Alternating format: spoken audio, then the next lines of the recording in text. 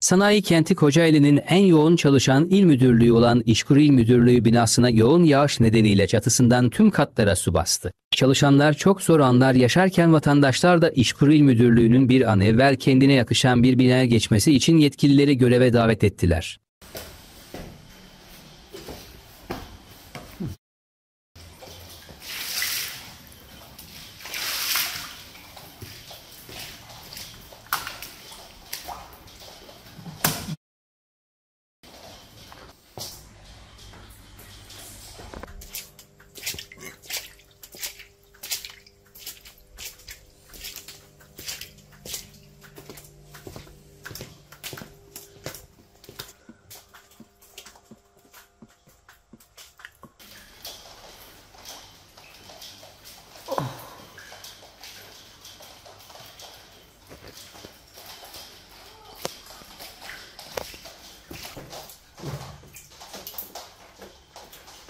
Thank you.